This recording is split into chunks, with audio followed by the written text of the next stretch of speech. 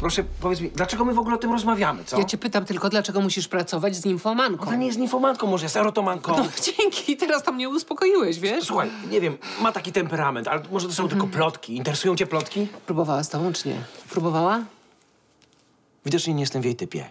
I właśnie dlatego przyszła do mnie, bo jestem neutralny. Wystarczy?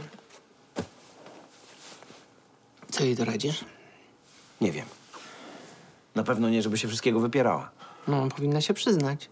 A potem przeprosić. Wszystkich y, fanów, widzów, wszystkich. Odpada. Dlaczego? W serialu kreuje się nadcotliwą, w mediach tak samo.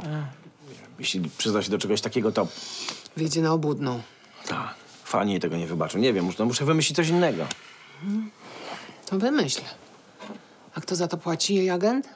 Basiu, proszę cię, no to, to, to nie jest usługa, to jest po prostu przysługa, no. Basiu, zrozum, dla niej to jest tragedia. Tragedią, kochanie, to jest głód w Afryce, ale proszę cię bardzo. Jak chcesz doradzać nimfomance za darmo, proszę bardzo. Basiu, ona ale nie jest ninfomanką. Kto to jest nimfomanka? Krzysztof ci wyjaśni, bo ja akurat nie znam żadnej.